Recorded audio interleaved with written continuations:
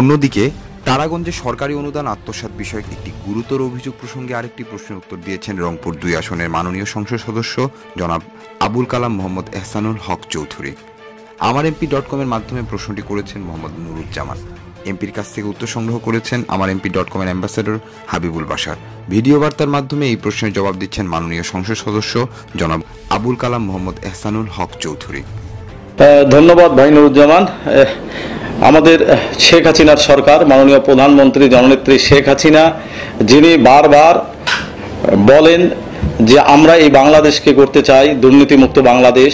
আমরা ইতিমধ্যেই সেটি শতভাগ হয়তোবা সফল হতে পেরেছি কিনা জানি না।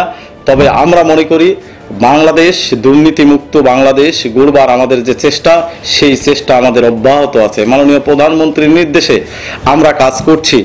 আজকে একটা সময় দেখা যেত যে যে সরকার রাষ্ট্রীয় ক্ষমতায় রয়েছে, সেই প্রধানমন্ত্রী তার পুত্র নিজেরাই দুর্নীতিতে দুর্নীতিবাজ হিসাবে তারা বিভিন্ন সময় মাম- মামলায় জড়িয়েছেন নিজেকে, তারা মানি লন্ডারিং মামলা থেকে শুরু করে এবং একটা সময় দেখা গেছে যে আমরা দেখেছি যে তাদের ভাঙ্গা সুটকেস থেকে শুধু ছেঁড়া গেঞ্জি দেখা গেছে, কিন্তু সেই ভাঙ্গা সুটকেস থেকে শুধু ছেঁড়া গেঞ্জি নয়, এখন কোকা এক, কোকা দুই, কোকা তিন, কোকা চার, কোকা পাঁচ, এরকম জাহাজ বের হয় সেই ভাঙ্গা সুটকেস থেকে।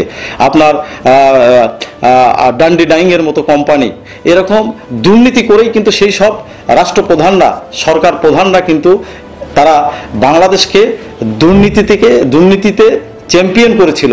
কিন্তু আমার নেত্রী বাংলার ষোলো কোটি মানুষের নেত্রী, জননেত্রী শেখ হাসিনা বাংলাদেশকে আজকে দুর্নীতি মুক্ত করেছে। আজকে এই কারণে আজকে যে আমাদের যারা জনপ্রতিনিধি আছি, আমরা যে কাজগুলো করে থাকি, আমাদের বিশেষ করে ইউনিয়ন পরিষদের চেয়ারম্যান মেম্বাররা যে কাজ করে থাকে, এই কাজগুলো শতভাগ বাস্তবায়ন করবার দায়িত্ব আমাদের প্রশাসনিক যারা আছে, ইউনো, এখানে পিআইও, এরা, এনারাই কিন্তু সেই কাজগুলো দেখে থাকে এবং আমার বিশ্বাস যে আজকে প্রশাসনে যারা আছে, তারা সবাই এই প্রজন্মের, এই প্রজন্ম থেকে আসা সবাই বিশেষ করে যে অফিসাররা এসেছেন আমি মনে করি যে আমাদের বাংলাদেশের প্রায় শতভাগ শতভাগ আমরা দুর্নীতিমুক্ত করবার করবা আমরা চেষ্টা করছি এবং চেষ্টা আমাদের সফল হয়েছে।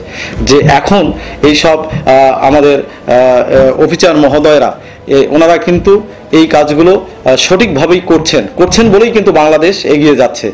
এবং শতভাগ দুর্নীতিমুক্ত হয়েছে বলেই বাংলাদেশ বিভিন্ন ক্ষেত্রে অ্যাওয়ার্ড পেয়েছে। আপনার কৃষি ক্ষেত্রে অ্যাওয়ার্ড পেয়েছে, স্বাস্থ্য ক্ষেত্রে অ্যাওয়ার্ড পেয়েছে। তো আমার কাছে, আমার যে বিশ্বাস, আমার যে ধারণা যে আমরা জননেত্রী শেখ হাসিনাকে যদি সরকারে বারবার রাখতে পারি, তাহলে দুর্নীতিমুক্ত বাংলাদেশ অবশ্যই থাকবে এবং দুর্নীতিমুক্ত বাংলাদেশ অবশ্যই হবে। বিস্তারিত দেখুন www.amarmp.com এবং আমার এমপি ফেসবুক পেজে আমার এমপি জনগণের সাথে সংসদ সদস্যের যোগাযোগের সহজ মাধ্যম।